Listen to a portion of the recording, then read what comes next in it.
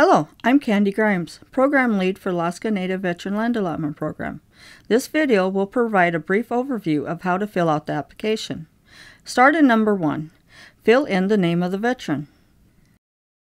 Number 2 is filled out only if there is a personal rep, guardian, conservator, or power of attorney. If this does not apply, leave it blank. Number 3 is the mailing address of the person we are to contact, either the veteran or the personal rep. Number 4 is the birth date of the veteran. Number 5 is the phone number of the person we are to contact, either the veteran or the personal rep.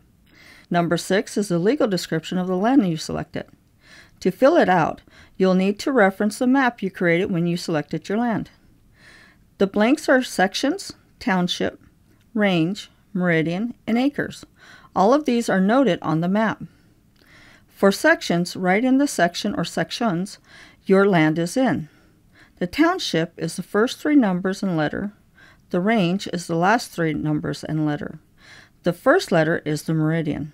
Your selection cannot exceed 160 acres, but it's very hard to draw exactly 160 acres.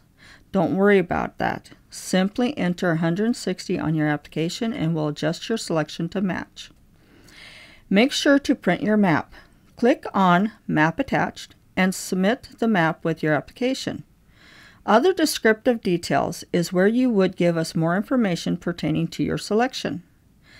Number 7 has multiple parts to it. The first three have to do with the veteran's eligibility for the program. Are they Alaska Native? Are they a veteran? And did they serve during a certain time period? The last three pertain to land. Did the veteran receive land from the Bureau of Land Management in his or her own name? If not, the answer would be no to all three questions. Number 8 and 9 are answered only if the veteran is not a predetermined eligible individual. To find out if the veteran is a predetermined eligible individual, please contact the Bureau of Land Management at 907 271 5998 and we will let you know.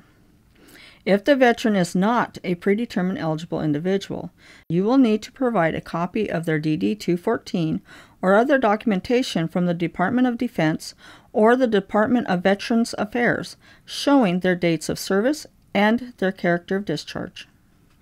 You will also need to provide a copy of their Certificate of Degree of Indian Blood or other documentation from the Bureau of Indian Affairs or their tribe proving they are Alaska Native.